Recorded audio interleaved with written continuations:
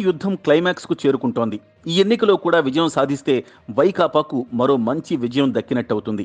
ఓడితే రెండేళ్ళ టైం ఉంటుంది సరిదిద్దుకోవటానికి.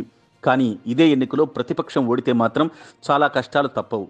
గెలిస్తే మంచి ధైర్యం వస్తుంది. ఆ ఊపుతో చెలరేగిపోవచ్చు. కానీ ఓడితే మాత్రం కష్టమే. ముందుగా ఇప్పటికే ఊగిసలాడుతున్న వారు జంపు జిలానీలుగా మారతారు. ఇంతకన్నా ఎవరు మాత్రం ఏం చేయగలరు? ప్రజలు స్పందించకపోతే అని నిట్టూర్చాల్సి వస్తుంది. మరో అడుగు ముందుకేసి జనాల్ని నిందించినా ఆశ్చర్యపోనక్కర్లేదు. జనసేన భాజపా కలిసినా ఏం పేకలేమన్న అభిప్రాయం జనంలోకి వెళ్ళిపోతుంది. చంద్రబాబుకు పరిస్థితి అర్థం కాక తలలు పట్టుకోవాల్సి వస్తుంది. మరి కొన్నాళ్ళు స్తబ్దుగా ఉండిపోవాల్సి వస్తుంది.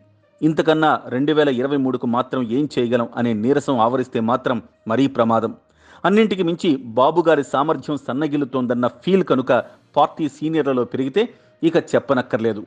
మాంచి హుషారుగా ఉన్న జనసేనాధిపతి పవన్ కళ్యాణ్ ప్రచారం ప్రసంగం సూపర్ హిట్ అయ్యాయి. భాజపా హడావిడి దారే వేరు. థియేటర్ టికెట్ కౌంటర్ల దగ్గర కూడా ప్రచారం చేశారు. వకీల్ సాబ్ భజన చేశారు. ఆఖరికి రాళ్ళ దాడి అనే సింపతి వ్యవహారం కూడా వాడేశారు.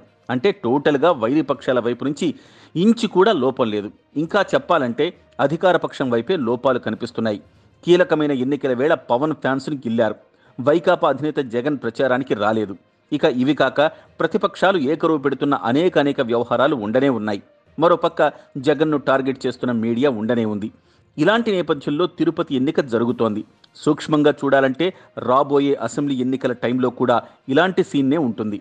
ఇంతకన్నా కొత్తగా ఇంతకన్నా గొప్పగా ఇంతకన్నా ఒత్తిడి మరేమీ ఉండదు. ఫలితం ముందే తెలిసిపోయిన యుద్ధంలో వీరులు ఉండరు. పులకేసులు తప్ప. Subscribe to Social TV Telugu for more videos. Hit the bell icon for faster updates.